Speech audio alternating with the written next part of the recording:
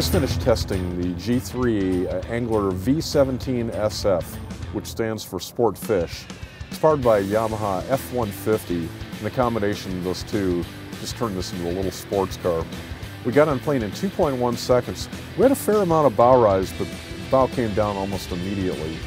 And we got to 30 miles an hour in 6.5 seconds, and our top speed was 50.4 miles an hour.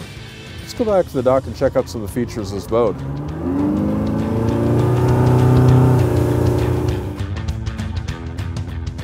Larry, one of the things that struck me about this boat is how wide it is for its length. It seems to have a whole lot of room. I see we have room for two pedestal chairs back here.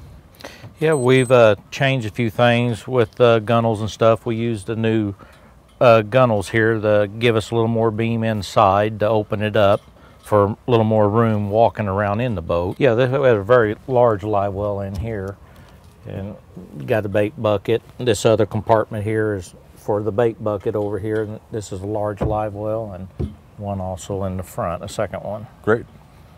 Uh, Larry, I'm not sure I've seen a G3 helm that looked exactly like this. Is this a new model this year? Yeah, this year this is a new one.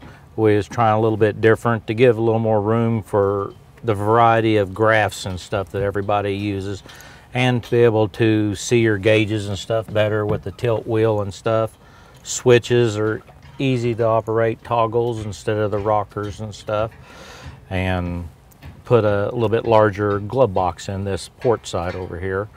Larry, all the fishermen I know have about a million rods. Uh, where are they going to store them on this boat? Actually, in this boat here, we've got a very large rod locker system. It's opened up so you can get quite a few rods. You can actually hang some, mm -hmm. and then you can lay a lot in there loose. Your batteries store underneath the locker system when you raise it up to be able to get to your motor batteries and add a charger if you need to. Nice. You know, one thing I love about the front deck here, it looks like this boat kind of carried the beam pretty far forward, so you have an awful lot of room up here. Yes, we did do that on purpose to keep it as wide as we could on the front, just so that you could have the room and be able to get to your live well easy, your dry storage boxes, and uh, extra little compartments to stow stuff. Yeah, you were telling me about the change that uh, G3 made with their uh, uh, storage lockers. What did, what did they do? We uh, use, uh, this one here has got a big plastic tub in it mm -hmm. too with lips to, to, shed the water away from it. Plus the latches that we put on this year, compression lock, when you twist them, they actually suck the door down so it doesn't rattle and helps make a little bit better seal. Nice.